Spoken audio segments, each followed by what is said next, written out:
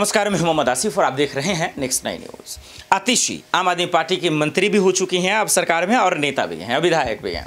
उन्होंने मनीष सिसोदिया को लेकर जो खुलासे किए, बहुत हैरान करने वाले। वो कह रहे हैं कि वो बीजेपी में जाना, बीजेपी अपने पाले में खींचना चाहते हैं, इस वजह से मनीष सिसोदिया के साथ यह हाल किया जा रहा है। क्या वो वाकई में बीजेपी में चले जाएँगे? क्या वो वाकई में मोदी जी के साथ आ जाएँगे? क्या केजरीवाल को झटका मिलेगा? आतिशी जी, क्या कुछ कह रही हैं? जरा ये सुनिए।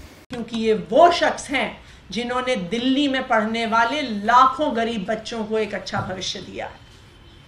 प्रधानमंत्री नरेंद्र मोदी जी मनीष सिसोदिया जी को इसलिए बदनाम करना चाहते हैं, क्योंकि वो चाहते हैं कि और पार्टियों के नेताओं की तरह ईडी, सीबीआई का केस होने पे जेल जाने के डर से मनीष सिसोदिया जी आम आदमी पार्टी छोड़ के भारतीय जनता पार्टी में चले जाएँ। वो ये चाहते हैं।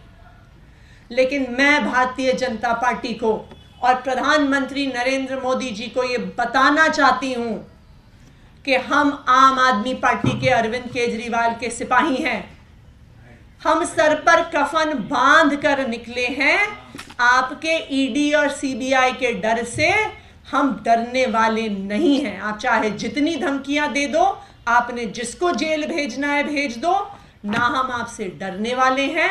ना हम आम आदमी पार्टी छोड़ के भारतीय जनता पार्टी ज्वाइन करने वाले। देखा आपने? अब इसके बाद तो यही सवाल है कि अभी तक वो जेल से बाहर नहीं है, अभी तक जेल ही में है, कि अभी वो खुद मनीष सिसोदिया अरविंद के मोदी जी को कहते हैं कि भाई मुझे या तो फांसी दे दो या फिर मुझे जेल में भेज दो, लेकिन मुझे बता दो किस गुनाह के अंदर मुझे जेल भेजा है।